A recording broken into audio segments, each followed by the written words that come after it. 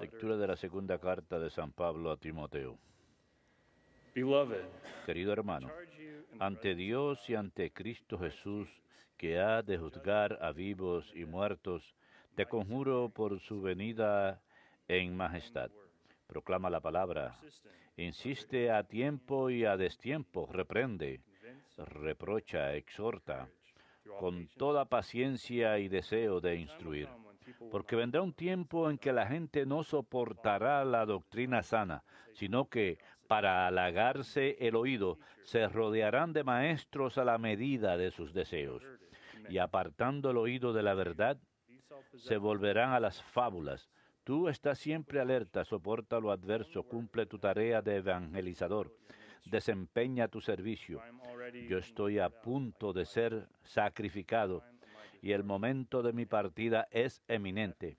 He combatido bien mi, combate, he corrido hasta la meta, he mantenido la fe, ahora me aguarda la corona merecida, con la que el Señor, juez justo, me premiará en aquel día, y no solo a mí, sino a todos los que tienen amor a su venida.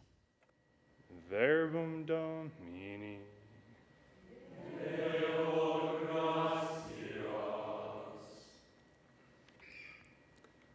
I will sing of your salvation. Mi boca contará tu auxilio, Señor. Mi boca contará tu auxilio, Señor. Llena estaba mi boca de tu alabanza y de tu gloria todo el día. No me rechaces ahora en la vejez. Me han faltado las fuerzas, no me abandones. Mi boca contará tu auxilio, Señor. Yo seguiré esperando, redoblaré tus alabanzas. Mi boca contará tu auxilio y todo el día tu salvación.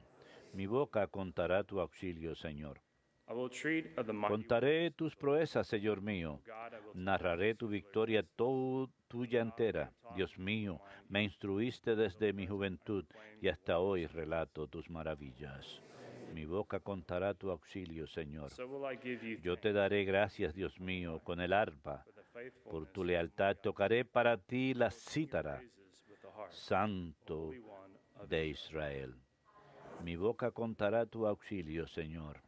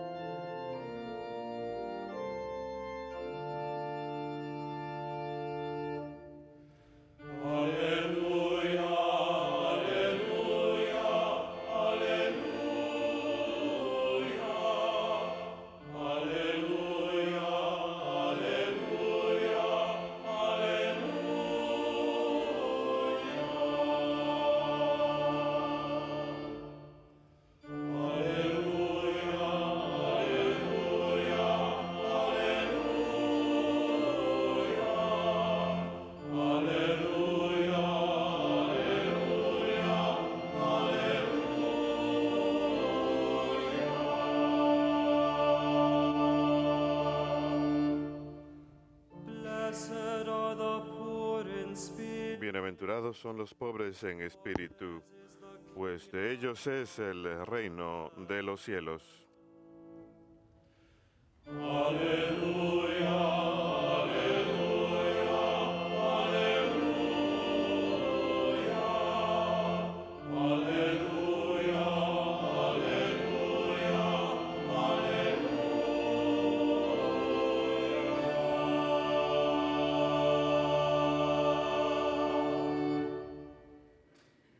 Dominus vobiscum.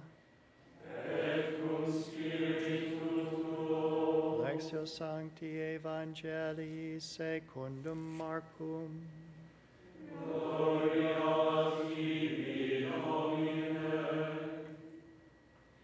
In the course of his teaching, En aquel tiempo enseñaba Jesús a la multitud y les decía, Cuidado con los letrados, les encanta pasearse con amplio ropaje y que le hagan reverencias en la plaza. Buscan los asientos de honor en las sinagogas y los primeros puestos en los banquetes y devoran los bienes de las viudas con pretexto de largos rezos.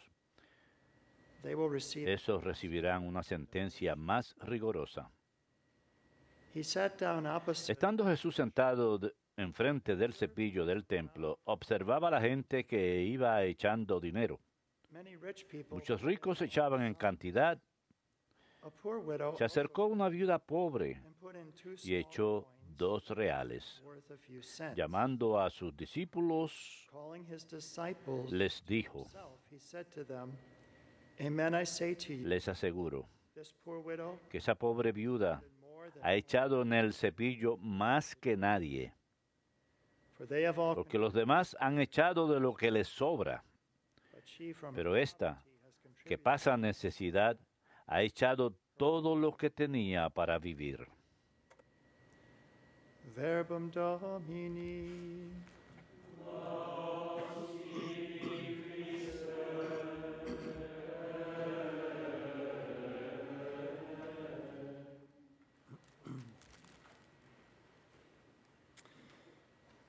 Primero que nada, gracias a todos ustedes que han respondido tan generosamente a nuestro llamado, en especial a los buques espirituales. I think that we received about 10,000 Creo que hemos recibido unas which were to 10.000 represent rosas que han de representar un rosario para cada rosa.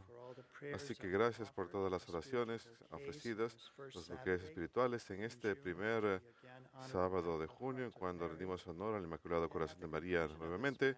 Y al final de esta misa tendremos la devoción de primer eh, sábado como es usual. Pero quiero compartir con ustedes algunas de las cosas que nos 10,000 enviaron, aparte de las sent, 10.000 rosas que nos enviaron, muchas cartas y correos electrónicos acerca de los buques espirituales que están siendo enviados y ofrecidos. Ayer Recibí estas pequeñas rosas en crochet, pues no pudieron mandar al otro tipo de rosas. Y esta también es del extranjero, me parece que es de Irlanda. Es interesante. This is a rosary made out Este es un rosario hecho de rosas, uh, así que es there, una verdadera obra de arte. Y también unos niños también mandaron algunos de sus propios dibujos de los buques espirituales. Este dice María y. Niño Jesús y esta dice Mamá. Así que les agradecemos a todos los que han enviado, en especial sus buques espirituales, y les instamos a que lo sigan haciendo. Los mantenemos en la capilla. Estos buques espirituales siguen aquí en la capilla y continuamos rezando y ofreciendo oraciones en ese tiempo cuando hay tanta necesidad de oración y de acudir a la Virgen. Esta vestimenta aquí podemos recibir consuelo, Al igual que Jesús, en el corazón de su madre. Nosotros también podemos obtener consuelo en el corazón de nuestra. Santísima Madre, la Virgen María, y su Inmaculado Corazón. En la primera lectura de hoy, es la segunda carta de San Pablo a Timoteo. Timoteo es un joven que fue encargado del cuidado pastoral de la iglesia en, en Efeso. Había muchos problemas ahí, de hecho, Pablo dirige dos cartas a Timoteo para animarlo, para instruirlo acerca de cómo guiar la iglesia en un tiempo cuando había una crisis diferente a la que vemos en estas dos cartas. Y esto es lo que escuchamos hoy en el capítulo letter. 4 de su segunda carta. Proclama la palabra, insiste a tiempo y a destiempo. especially luego Quería hablar en especial de estas tres cosas, hasta de cómo él ha de proclamar esta palabra, ya sea que sea tiempo o a destiempo. Reprende, reprocha, exhorta. Es un buen modelo para la prédica. La prédica en alguna forma debe ser una de esas tres cosas para agradar a Dios. Por lo menos una de estas, estos elementos de la prédica. Primero que nada, exhortar, mostrar que nuestra fe es razonable, que tiene valor, algo que siempre me gusta hacer. y me han escrito agradeciéndome dura- por esto. Durante el tiempo de Pascua, hablar sobre el número de razones por las que creemos en la resurrección de Jesús entre los muertos y nuestra propia resurrección. Mostremos que es razonable. Tenemos un programa con el padre Spitzer y Doc Keck acerca del universo del padre Spitzer y se llama la intersección de la fe y la razón. Vemos que la razón no va en contra de la fe, sino que hay una intersección. Las dos nos llevan a la verdad. Nuestra razón, nuestras mentes nos llevan a la verdad, pero la fe nos lleva incluso más allá para que podamos entender las verdades de Dios, las verdades de la vida eterna. Esa también es una forma en que conocemos la verdad.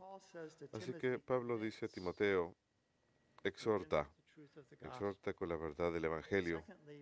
Segundo, reprende. Sabemos que tenemos una naturaleza humana caída.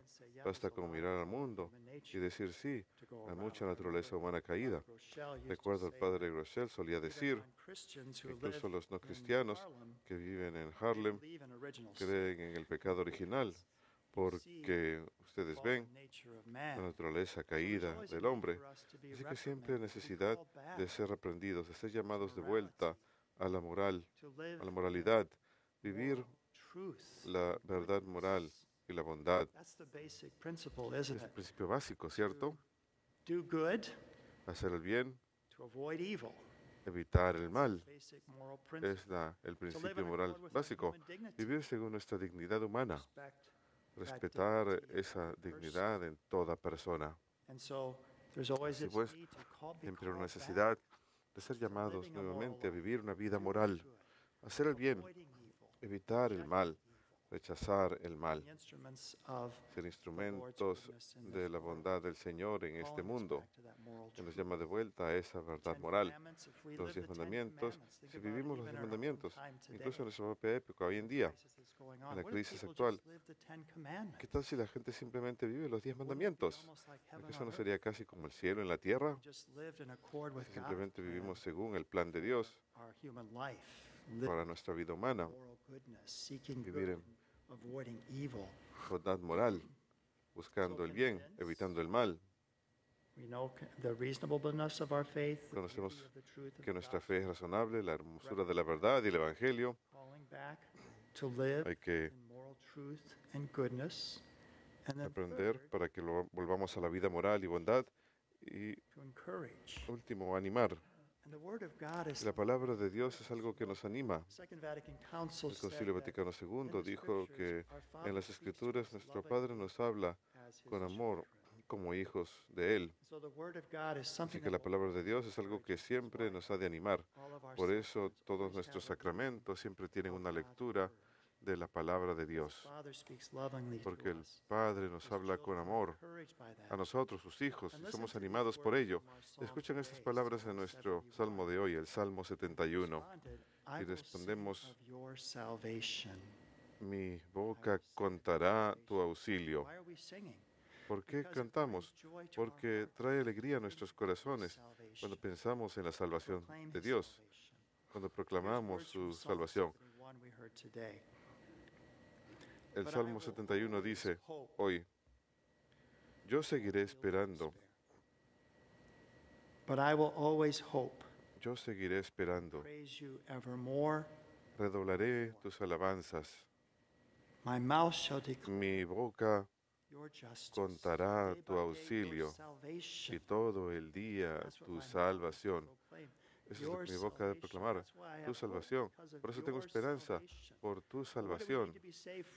¿Y de qué nos hace falta ser salvados? Nos hace falta ser salvados de la muerte, que es inevitable para todos nosotros. Pero nuevamente, las razones por las que siempre durante el tiempo de Pascua me gusta dar las razones de nuestra fe en la resurrección, es para fortalecer, para convencer la verdad de nuestra propia resurrección. Así que sabemos que tenemos que ser salvados de la muerte y sabemos que Jesús, resucitado de entre los muertos, es nuestro Salvador y que nosotros que creemos en Él llegaremos a una resurrección similar.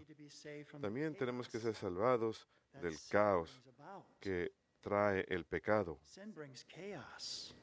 El pecado trae caos. Pensemos en el evento que inició um, todo, todas estas protestas violentas que están ocurriendo.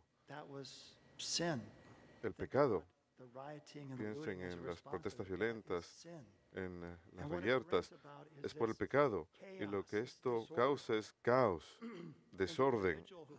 sin embargo, el individuo que comete el pecado, y damos gracias a Dios que podemos ser perdonados y liberados de ellos si acudimos al Señor y nos arrepentimos, trae caos por dentro.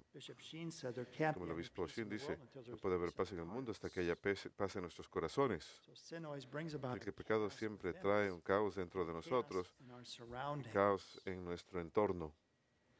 So we need to be saved from Así que tenemos que ser salvados de ello. And Jesus is the Savior. Jesús es el Salvador. Por eso podemos decir, como el Salmo hoy "My dice, mouth, I will always hope and praise you more and more. My mouth shall declare your justice day by day, your salvation.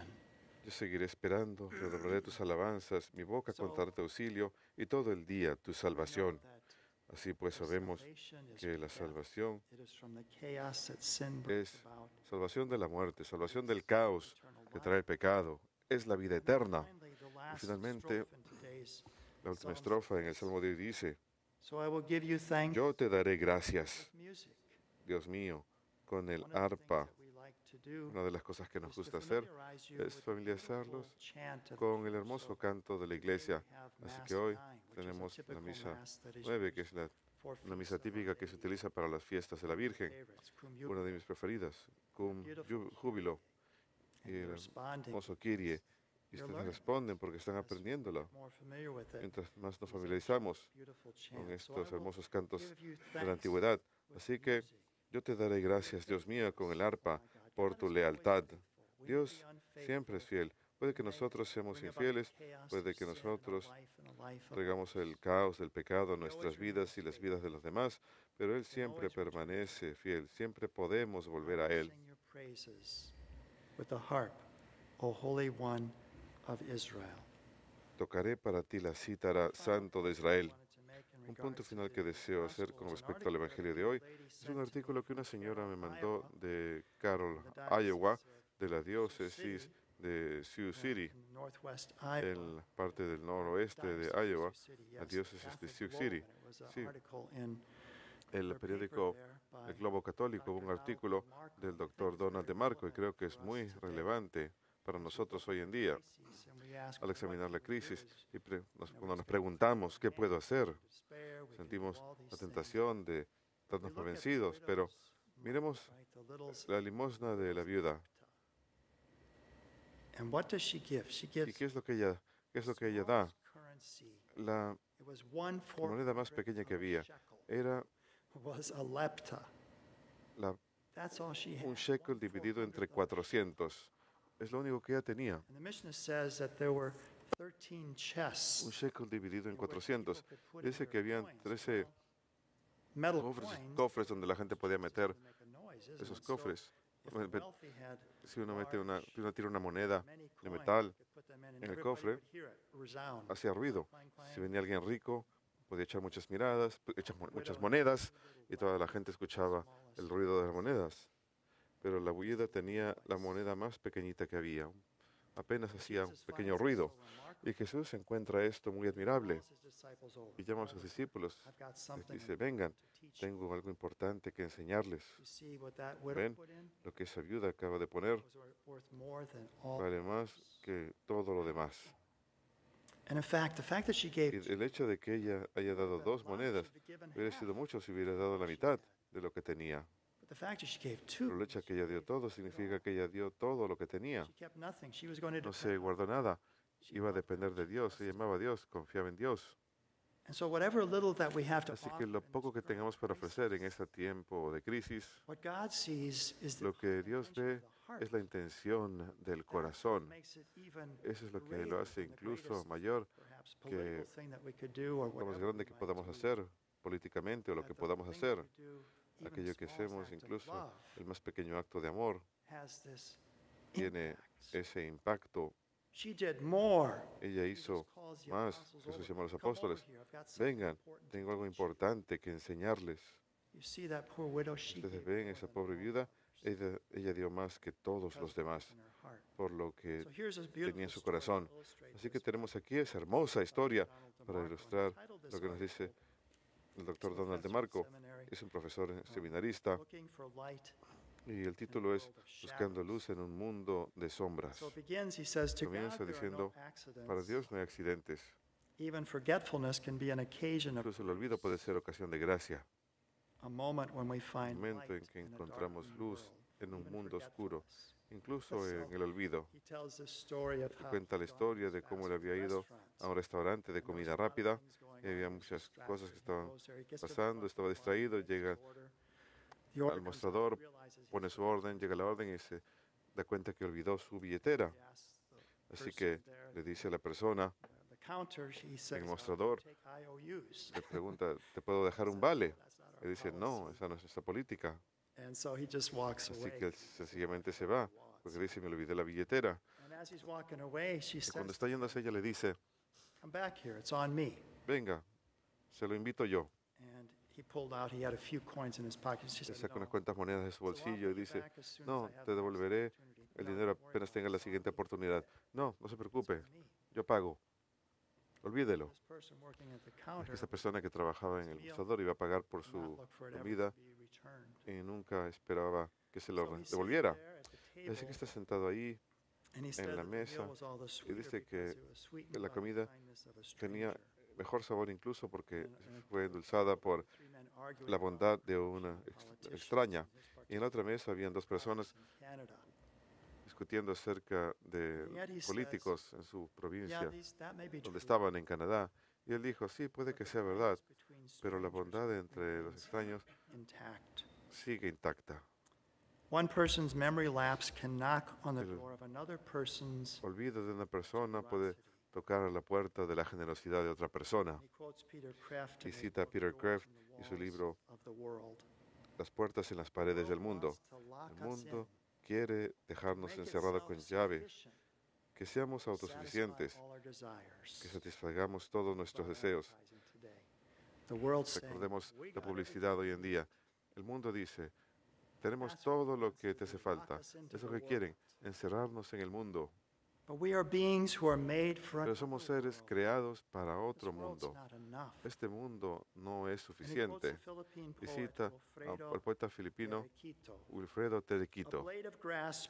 Una hoja de césped sale desde entre dos losetas en el pavimento, creciendo silenciosamente con cada momento, sin importarle su entorno, sobrevive sin quejarse.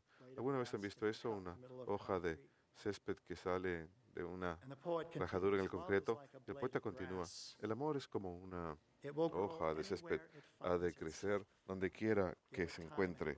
Denle tiempo y espacio y vivirá en el sol o en la penumbra. Aquí tenemos una metáfora para la vida, dice el doctor Marco. Nos encontramos en un mundo que quiere impedirnos que encontremos la luz. Nuestro destino es precisamente encontrar la luz. Mi olvido causó un desayuno memorable. Me recordó que la vida, al igual que el amor, puede emerger en los lugares más inesperados y bajo las circunstancias más improbables. Así que sean instrumentos de la paz del Señor en el mundo hoy en día. Lo que el Señor mira no es a la cantidad que la persona ha dado, sino el corazón y la intención con la que se ha dado con amor.